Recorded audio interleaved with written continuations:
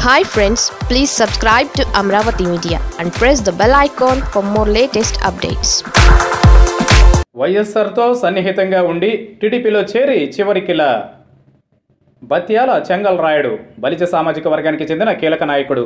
ముఖ్యంగా కడప జిల్లాకు చెందిన నేతల్లో ఎలాంటి వివాదాలు లేని నాయకుడిగా ఆయన గుర్తింపు పొందారు.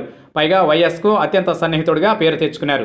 ఈ నేపథ్యంలో బలిజ వర్గానికి చెందిన నాయకుడు కావడంతో వైఎస్ కూడా ఆయనను బాగానే ప్రోత్సహించారు. ఈ క్రమంలో రైల్వే కోడూరు నియోజకవర్గంలో ఆయనకు మంచి పట్టుంది. బలిజ సామాజిక వర్గం మొత్తం ఆయన కనుసన్నల్లో నడిచేదనే పేరు కూడా తెచ్చుకున్నారు. కడప జిల్లాలో బలిజ సామాజిక వర్గంలో మాజీ మంత్రి రామచంద్రయ్య తర్వాత ఆ రేంజ్లో ఎదిగిన వ్యక్తి బత్యాల చెంగల్ రాయుడే అయితే రైల్వే కోడూరు నియోజకవర్గం రిజర్వ్ కావడంతో తనకు కనీసం రాజంపేట టికెట్ ఇవ్వాలని వైఎస్కు మొరపెట్టుకున్నారు.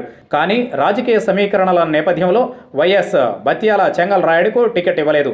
రాజంపేటతో పాటు పక్కనే ఉన్న రాయచోటి ఎప్పుడూ రెడ్డి వర్గానికి ఇస్తూ వచ్చారు. ఈ నేపథ్యంలోనే కాంగ్రెస్ తరఫున ఎమ్మెల్సీగా ఎంపిక చేశారు. మంచి వాయిస్ ఉండడం మీడియాలో మంచి ఫాలోయింగ్ ఉండడంతో బత్యాల చెంగల్ రాయుడు కాంగ్రెస్కు మంచి ప్లస్ అయ్యారు.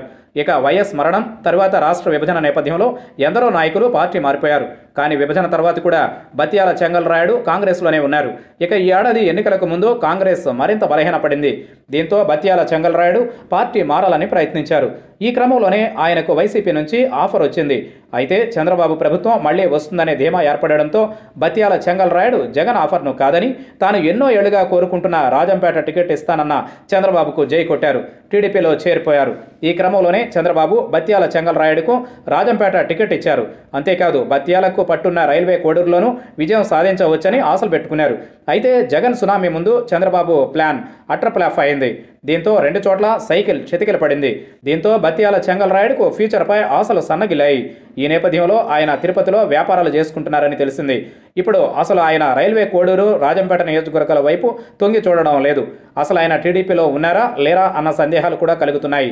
అలా కాకుండా కొంచెం లాజిక్గా అడుగులు వేసి ఉంటే వైసీపీ నుంచి ఆఫర్ ఇచ్చినప్పుడు వెళ్ళిపోయి ఉంటే జగన్ సునామీ సహా తన హవాతో గెలుపు గురం ఎక్కేవారు కానీ ఆయన వేసిన రాంగ్ స్టెప్ ఆయనకు ఫ్యూచర్ లేకుండా చేసింది.